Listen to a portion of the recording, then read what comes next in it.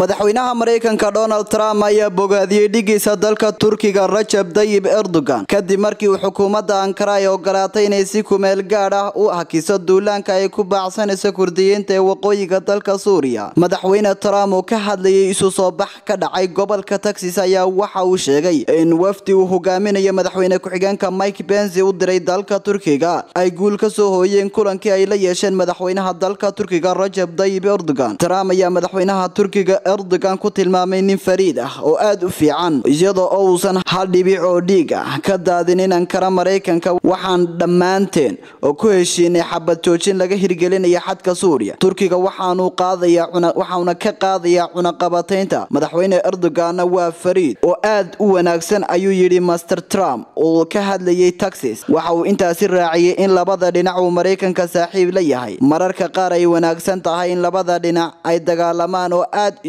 oo aad isku daawato. Farahana ka qaado marka dambena aad kala celiso. Abdirashiid maxamuud maxamed cabdirashiid hudhud wararka star t v